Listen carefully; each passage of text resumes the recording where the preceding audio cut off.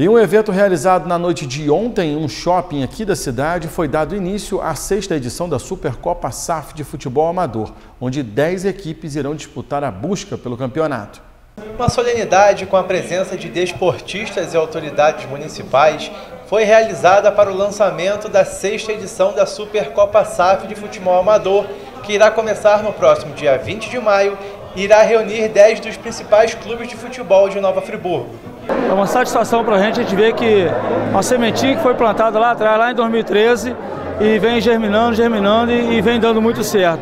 Então isso no, no, é, nos dá muito prazer, nos deixa muito emocionado, nos deixa muito feliz, porque é uma competição que é feita com muito carinho, com muito empenho, né, tanto pelo, eu falando pelo patrocinador né, do, do, do Grupo Safra, a pessoa do Márcio Branco, como também pela Secretaria de Esporte, né? Sempre essa parceria foi uma parceria que deu certo, vem dando certo, e isso aí é fruto de, de todo um trabalho que realmente, de ano a ano, vem, vem, vem crescendo.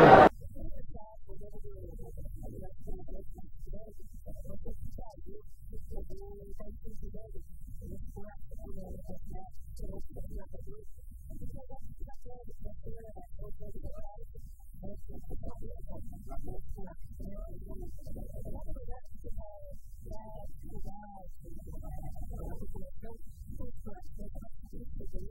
campeonato também tem a parceria da Secretaria Municipal de Esporte.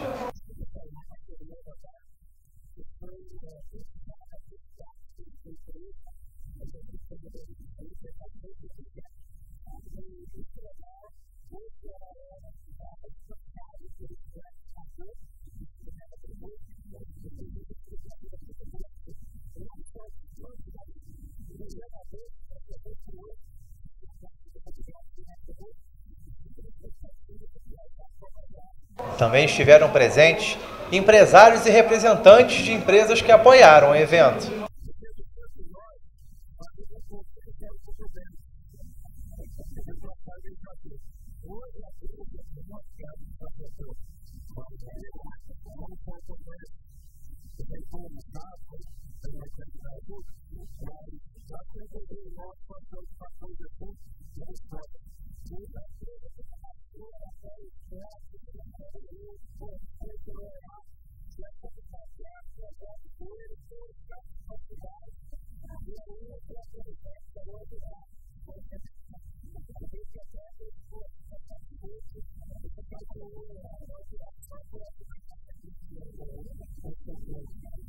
Os técnicos e jogadores já se dizem preparados para a competição.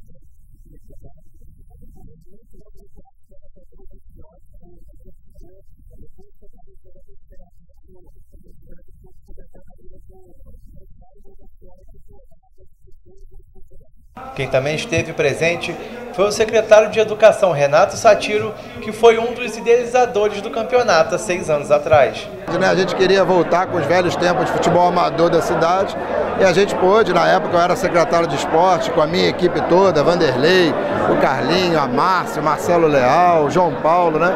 A gente conseguiu elaborar um projeto e tentar vender para uma empresa de Friburgo que pudesse é, fazer essa parceria com a prefeitura.